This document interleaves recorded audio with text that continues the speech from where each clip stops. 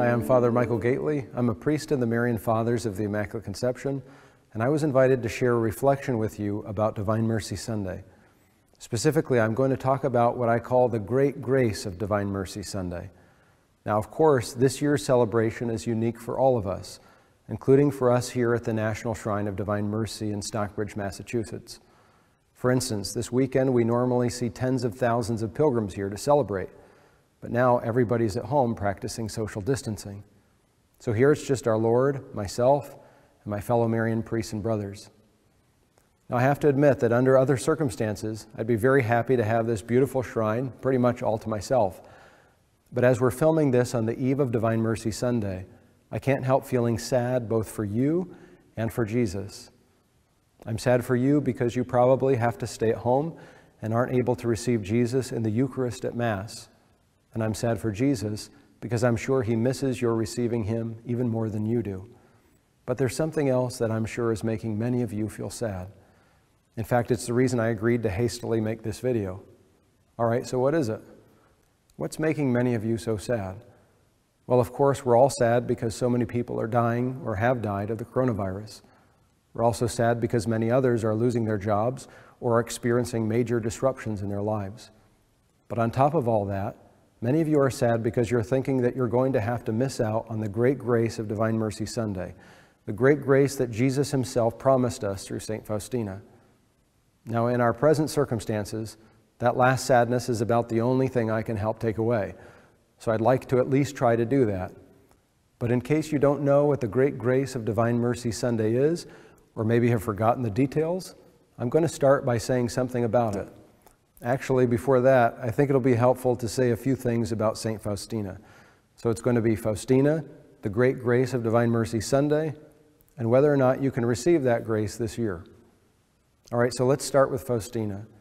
St. Maria Faustina Kowalska was a Polish mystic to whom Jesus appeared on the eve of World War II and during the Great Depression to give the church through her the modern message of divine mercy. Now, it's not that God gave her some new gospel. Rather, he gave her a message that brings the whole church back to the very heart of the gospel, which is God's mercy for sinners. Now, a key point here is this the message of divine mercy that comes to us through St. Faustina is about bringing the whole church back to the heart of the gospel. Again, the whole church. And that's something very important because it indicates that St. Faustina isn't just one saint or mystic among many. Rather, she stands out as someone very special. Let me put it this way as a priest who talks a lot about St. Faustina and her message, I get inundated with information about private revelations, mystics, apparitions, and new devotions. Now, there's no question that mystical phenomena and religious devotions are a blessed part of the tradition of the Church. However, sometimes it could be a bit much. For instance, I know that priests like myself can at times hear things like this Oh, Father, have you heard about the new devotion to the holy arrow in the eye of Jesus? Father, if you just say this prayer five times and spin around three times, all of your wildest dreams will come true. Father, you've got to tell the whole parish about this. And if you don't, Jesus is going to cry. okay, now it's not quite that bad, and there's no holy arrow in the eye of Jesus devotion, at least not yet. But you get the idea. Now, I'm not saying that all alleged mystics and apparitions are wrong. It's just that they need to be tested. But even when they have been tested and are approved by the church, for instance by a local bishop, they're often a message just for one diocese or one country or a particular culture. What's very rare is to have a mystic give a message for the whole church. St. Faustina is one of those very rare mystics. Both she and her message have been thoroughly vetted by ecclesial authorities. And St. John Paul II made clear that her message is not just for his native Poland, but for the whole church. And perhaps the most important way he did this was when, inspired by St. Faustina, he declared the second Sunday of Easter to be Divine Mercy Sunday, the great feast we celebrate this weekend, or at least trying to celebrate. Anyway, because Faustina and her message has not only been approved by the church at the highest levels, but also because her message has been so radically recognized by several popes as a gift for the whole church, I believe that Faustina should not be dismissed as just another mystic giving private revelations. Rather, I suggest that she should be approached through the biblical category of prophecy. In other words, I'm saying that St. Faustina is a prophet. A prophet? Isn't that just for the Old Testament? No. in a certain sense, all of us, by virtue of our baptism, are prophets. And as such, we're called to announce the good news of the gospel to everyone. But prophecy is not only that, it's also meant as a very specific charism in the church. All right, so what's that? Well, first, let me just say what it's not. It's not what people often think of as prophecy, as a kind of mystical knowledge about future events. Rather, it's where the Holy Spirit raises up certain holy men and women who have a powerful experience of God that they're then called to share with the whole church for the building up of the body of Christ in a given time and for a particular reason. So, if St. Faustina has this specific charism of prophecy, what's her message? Or more accurately, what's God's message to us through her?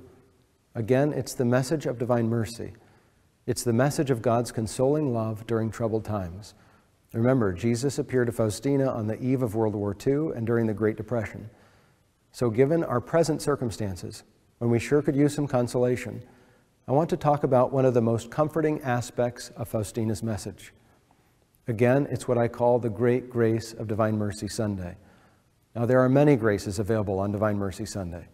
In fact, Jesus himself told St. Faustina, quote, On that day, Mercy Sunday, the very depths of my tender mercy are opened.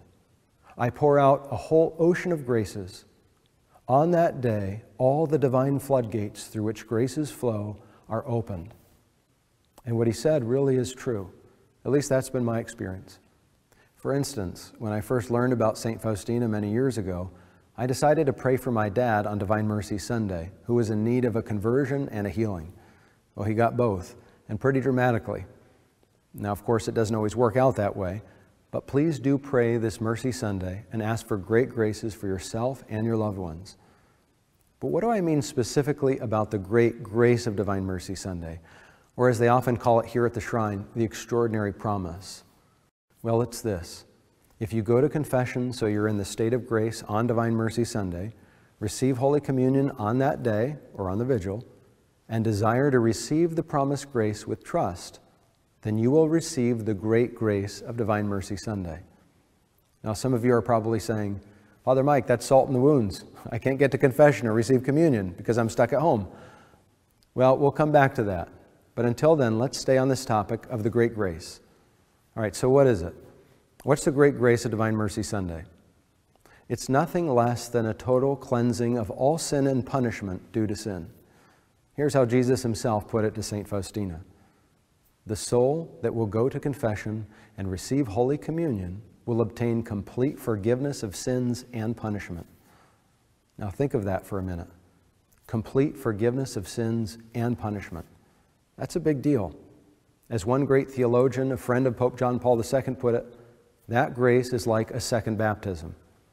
Of course, it's not actually a baptism, but it so thoroughly cleanses the soul that it's as if you were just baptized and became as clean of soul as a newly baptized baby. Again, that's a big deal. Why? Because even if we've been forgiven our sins, there's still what's called the temporal punishment due to sin, which leads to purgatory. And what's purgatory? It's that gift of God's love that allows us, after death, to be purified of any stain of sin that prevents us from entering into the full presence of the all holy God. And it's apparently pretty painful. Well, the great grace of Divine Mercy Sunday cleanses us so completely that if we died right after receiving it, we would not need to pass through purgatory. In fact, we'd go straight to heaven, straight to the full embrace of God's merciful love. Now you might be saying, ah, oh, that's just a plenary indulgence. And you can get that for reading 30 minutes of Scripture. Well, it's actually not the same as a plenary indulgence, although the church does give a plenary indulgence on Divine Mercy Sunday, but that's something different. So let me take a quick tangent and explain that. To get a plenary indulgence from the church, you have to say the indulgence prayer or do the indulgence act, pray for the intentions of the Holy Father, go to confession, receive Holy Communion, and be detached from all sin. Now, that last one tends to be the problem. Are we really detached from all sin? And how would we even know that? And how hard is it to be detached from all sin? Well, I once read a story that St. Philip Neri was speaking to a crowd of people who had gathered for some church event to receive a plenary indulgence. And the Holy Spirit told St. Philip that only two people in the whole crowd were going to receive the full indulgence Philip himself and a seven year old boy, presumably because everyone else was attached to sin. So it might not be as easy as we think to get a plenary indulgence. Thankfully, though, if we aim for one and miss, we still get a partial indulgence. On the other hand, the great grace of Divine Mercy Sunday is relatively easy to obtain. Why? Because being detached from all sin is not one of the conditions for receiving it. Again, you just have to be in the state of grace, receive Holy Communion, desire to receive the grace, and trust that you will receive it. That's pretty easy. And it's a sign of the great tenderness of the Lord that He would make it so easy. And yet, in a certain sense, it's not so easy to receive the grace. Now, I say that because there are some big obstacles that often prevent people from getting what should be a very easy grace to obtain. My goal then for the rest of our time together is to demolish those obstacles so you can receive the consoling gift of the great grace of Divine Mercy Sunday. So, the first obstacle, the obstacle to desire. Now, one of the conditions for receiving the great grace of Divine Mercy Sunday is to desire it. But to desire it, you first need to know that it's being offered. Well, now you know. And so I hope you desire it. I hope that your heart is now burning to receive the freely given gift of a total cleansing of all your sin and punishment due to sin. I hope you now want the second baptism. It's not really a baptism, but probably feels like it to the soul. So if that's what you want, then you've already met one of the very few conditions required to receive it. But there's another obstacle. Obstacle two the obstacle to trust. So, a second condition for receiving the great grace of Divine Mercy Sunday is that you have to trust that you will receive it. And that should be easy. After all, we have the testimony of Jesus himself through St. Faustina telling us that he wants to give it to us. Problem is, there are sometimes well meaning people who say that it's just not possible. But it is possible. The reality is, the great grace of Divine Mercy Sunday doesn't always fit comfortably in everyone's theological categories. And that's okay, because we can make room for God and what He wants to give us. And while prophets like St. Faustina are known for shaking things up a bit, people eventually settle down and begin to accept their message. And in Faustina's case, it should be easy because the message is so amazingly beautiful. But still, it's not always easy. And that even goes for St. Faustina. For example, there's one passage in her diary where she was writing about God's mercy, but then becomes afraid that maybe she's expressed too much, that maybe she's gone too far in writing about God's great goodness and mercy. Well, the Lord's astounding response is simply this My daughter, what you've written is not even a drop in the ocean. And then there's this other passage where Faustina is just blown away by God's goodness to sinners. And she writes, There are moments and there are mysteries of the divine mercy over which the heavens are astounded. Let our judgment of souls cease, because God's mercy upon them is extraordinary. So, with Faustina's testimony in mind, Let's let our doubts about the great grace of Divine Mercy Sunday cease. Let's receive what God wants to give us, even if it seems like it's too much. And let's do it because it's not too much mercy. It's exactly what God wants to give to us. And you have that not only from the testimony of St. Faustina, but it's the official position here at the National Shrine of Divine Mercy, a position we're confident in because of our long history of spreading the devotion and working with Blessed Michael Sopocko, who was St. Faustina's spiritual director, with St. John Paul II, for whom the Marians worked behind the scenes to spread the message, and with many theological experts.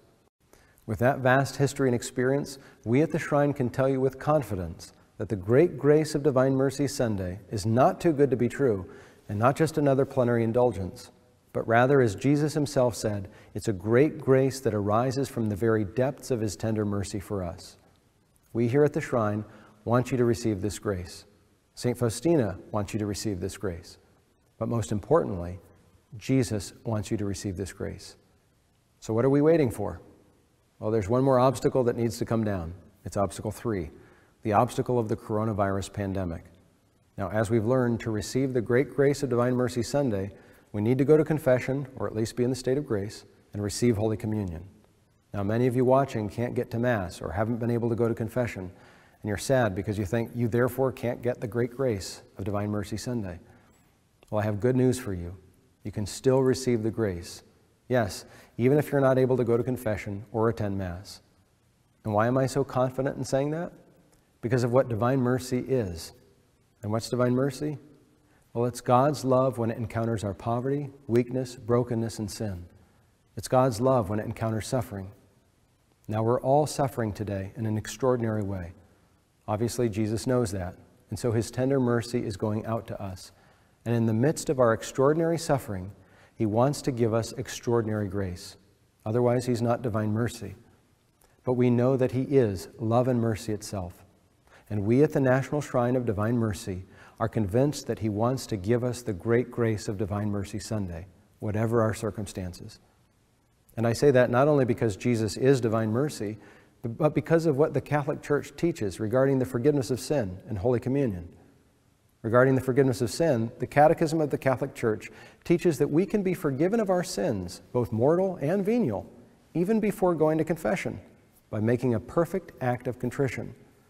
Now, that's provided we get to confession as soon as we reasonably can. All right, so what's perfect contrition? Well, that's our sorrow for our sins that arises out of our love for God above all else. All right, but how do we get that love? Well, we have some special help right now during this pandemic. For instance, there's no doubt that it's helping us to see just how fragile the securities of this world are and how fragile our lives are. It's helping us realize, perhaps more than ever, that this world is passing. But more importantly, the gift of Divine Mercy Sunday reminds us that we are made by a God of love, a God who's always looking at us with love and who's hoping on the great feast of his mercy that we will look up from this valley of tears and see his beauty and goodness that surpasses all else. He's hoping that we realize that we have not loved him as we should love him.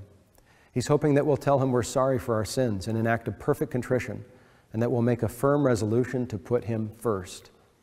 If we do all that and then get to confession as soon as we reasonably can, then we're ready to receive the great grace of Divine Mercy Sunday, even if we can't get to Mass. And how do we receive it? By making a spiritual communion. And what is that? It's to express a desire to the Lord to receive into our hearts the fullness of the love He wants to give us. It's simply to ask Jesus to please come into our hearts with His love.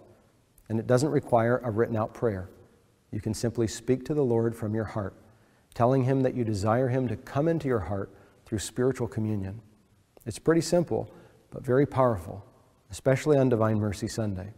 Oh, and by the way, if you have any doubts about whether or not we really can do this, I want to assure you that St. Thomas Aquinas, one of the greatest theologians in the history of the church, writes that to receive Christ spiritually through desire is, quote, not merely to eat Christ spiritually, but likewise to eat this sacrament.